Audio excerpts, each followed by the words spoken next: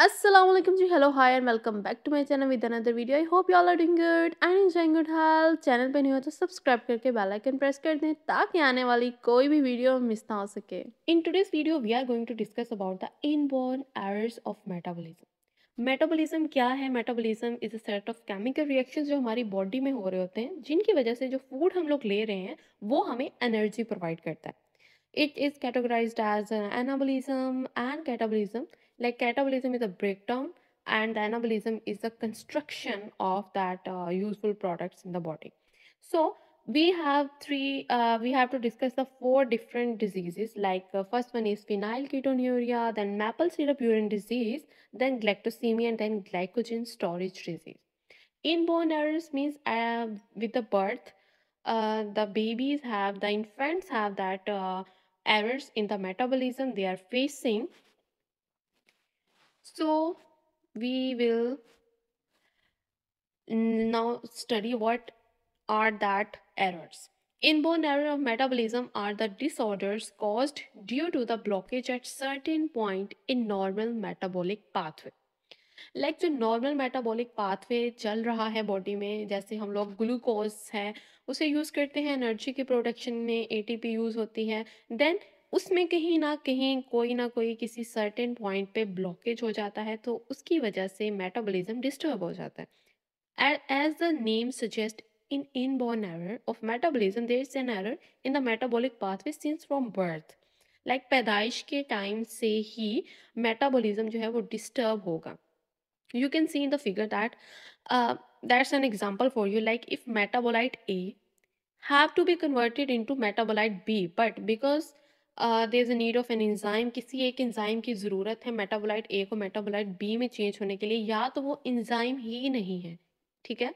या फिर जो मेटाबोलाइट ए है उसकी अकोमुलेशन हो गई है प्रेजेंट इन स्मॉल अमाउंट कि वो कम ही अमाउंट में है कि वो मेटाबोलाइट बी में चेंज नहीं हो सकता ठीक है?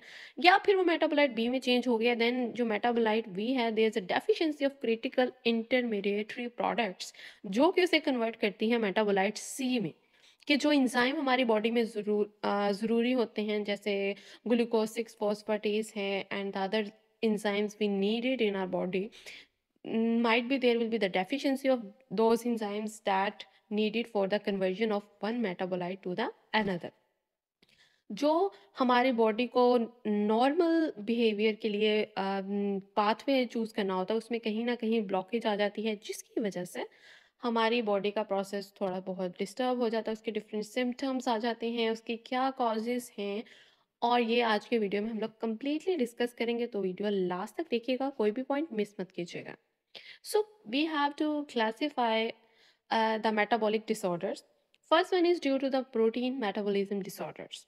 Protein metabolism disorders में हमारे पास अमाइनो एसिड मेटाबॉलिज्म आ जाता है, जिसमें हमारे पास फिनाइल क्यूटोन्यूरिया आ जाता है maple syrup urine disease and the urea cycle disorders these are included due to the protein metabolism disorder as you as you all know that there are three types of main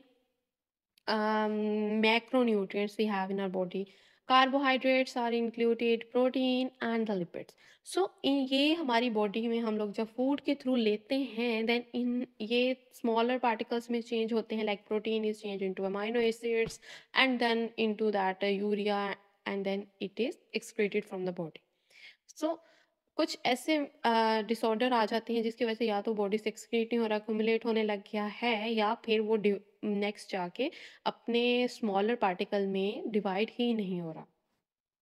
so carbohydrate metabolism में हमारे पास कौन से disorders आ जाते हैं? Glycogen storage disease आ जाती है ग्लेक्टोसीमिया आ जाता है फ्रक्टोज इंटॉलरेंस आ जाती है देन ग्लूकोज मेलाब्सॉर्प्शन हो जाती है।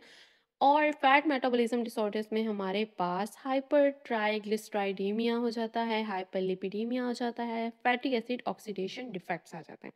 So we have to discuss the main four in our series of inborn errors in metabolism so first one is phenyl ketonuria आज की वीडियो में हम लोग ये डिस्कस करेंगे, इसका इंसिडेंस इसकी इंसिडेंस रेशो कम है। फिफ्टीन थाउज़ेंड में से एक बेबी इन्फेंट में ये कॉज हो सकता है।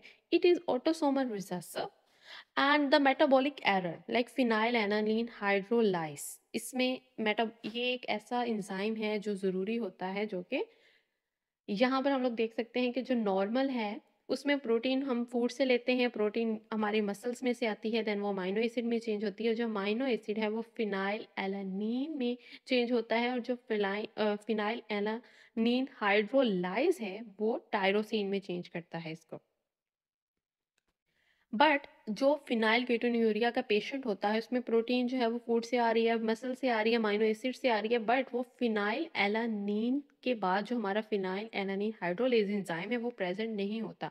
जिसकी वजह से वो टायरोसिन में चेंज नहीं होती और वो बिल्डअप होने लग जाता है फिनाइल एलानीन और उसकी वजह से हेल्थ प्रॉब्लम्स कॉज होती हैं। सो so, इसमें हमारे पास जो इंजाइम जो हमारी बॉडी में प्रेजेंट नहीं होता, वो लेस देन 98 परसेंट होता है, वो फिनाइल एलानिन हाइड्रोलेस है। इसकी की मैनिफेस्टेशन में मेंटल रिटार्डेशन हो जाती है एक्वायर्ड माइक्रोसफेली हो सकती है। और इसमें हम लोग जो टेस्ट करवाते हैं, उसमें प्लाज्मा फिनाइल एलानिन कंसनट्रेशन हम लोग चेक करते हैं। और इसकी थेरेपी में हमारे पास diet low in phenyl alanine हम लोग तमाम चीज़ें डिस्कस करते हैं one by one so symptoms क्या हो सकते हैं पीकेयू के? A musty odour in the breath like एक बेबी जब पैदा होता है within twenty four to forty eight hours अगर हम उसकी क्लिनिकल इन्वेस्टिगेशन करें then we will know that it is the patient of phenyl ketonuria क्योंकि सिम्टम्स में अब हम लोग पेरेंट्स से हमें नहीं पता चलता इतनी जल्दी कि ये पेशेंट है और फिर उसका ट्रीटमेंट किया जाए। इसमें एक मस्टी और हो सकती है इन द ब्रेथ स्किन और यूरिन न्यूरोलॉजिकल प्रॉब्लम्स हो सकती हैं लाइक सीजर्स हो सकते हैं, उन्हें दौरे पड़ सकते हैं फिट्स हो सकते हैं। Lighter skin hair and eye colour skin rashes हो सकते हैं और इंटेलेक्चुअल डिसेबिलिटी हो सकती है डिलेड डेवलपमेंट हो सकती है और माइक्रोस्फेली भी हो सकती है। माइक्रोस्फेली हम लोग मोस्टली कॉमन ये चीज़ हम लोग at the time of birth देख सकते हैं कि सर जो है वो नॉर्मल साइज़ से थोड़ा छोटा होता है और बाकी ये वाले सिम्टम्स हैं। देन इसकी स्क्रीनिंग कैसे की जाए? Screening all units are screen for phenyl ketonuria twenty four to forty eight hours जो हैं वो लग जाते हैं after birth by collecting a few drops of blood from the baby's heel baby के हील में से थोड़ा सा ब्लड लेके उसकी जन देन जो उसके टेस्ट किए जाते हैं तो ये इसके लिए twenty four to forty eight hours चाहिए होते हैं। और हमारे यहाँ मोस्टली ये ट्रेंड नहीं है कि ये टेस्ट करवाए जाएँ पूरी स्क्रीनिंग नहीं होती। तो ये जो डिसीज़ें हैं, ये बाद में पता चलती हैं जब बच्चा वो वाला फ़ूड ले रहा होता है जिसमें फ़िनाइल, एलानिन है, देन उसकी वजह से उसे डाइजेस्टिव इश्यूज़ भी हो जाते हैं। Then abnormal results are confirm by directly measuring phenyl, alanine levels. A normal blood phenyl, alanine level is about less than two M G per decilitre. Then phenylalanine levels that exceed 20 mg per deciliter are considered typical of classic PKU. Then इसका treatment क्या है? इसका कोई भी cure नहीं है, जो भी हमारे पास इनबोर्न इलनेसेस हैं, ठीक है? इनबोर्न एरर्स हैं, इनका कोई भी प्योर ट्रीटमेंट नहीं होता। हम लोग जस्ट इसे मैनेज कर सकते हैं। The most important treatment is a diet that limits food with phenyl alanine this means the diet must be low in protein क्योंकि प्रोटीन में ही फिनाइल एलानिन होता है तो हम लोग लो प्रोटीन डाइट देते हैं। अब बेबी को तो हम लोग वैसे भी डेफिनेटली हम लोग फ़िश नहीं दे सकते, बीन्स नहीं दे सकते, मीट नहीं दे सकते, बट डेयरी डेयरी सोर्सेज में भी फिनाइल एलानिन होता है, प्रोटीन के सोर्सेज होते हैं तो उन्हें भी हम लोगों ने लिमिट करना है। देन नट्स, लिग्यूम्स, एग्स भी हम लोगों ने बिल्कुल कम देने हैं, मैश एग दे देते हैं मोस्टली। बट जो इन न्यू बॉर्न बेबी है, इन्फेंट्स हैं, उनमें मिल्क जो है, वो मेन चीज़ है जो हम लोग रिस्ट्रिक्ट कर सकते हैं।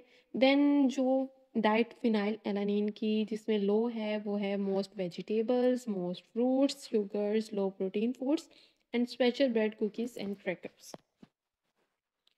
So इसमें हमारे पास जो फ्री फार्मूला है, फिनाइल एलानिन फ्री फार्मूला हम लोग रिकमेंड कर सकते हैं, वो बच्चे की डाइट में ऐड कर सकते हैं। Infant formula and medical food है, phenyl alanine free Mead Johnson का ये एक फार्मूला है, जो कि फ़र्स्ट इन्फेंट टॉडलर्स के लिए दिया जा सकता है। देन न्यूट्रिकिया का एनामिक्स इन्फेंट पेक्यू फॉर्मूला है, वो भी दे सकते हैं। So dietary management is the most important step in the treatment so that's all for today's video in the next video we will discuss a new topic that one is maple syrup urine disease so keep tuning keep watching अलाव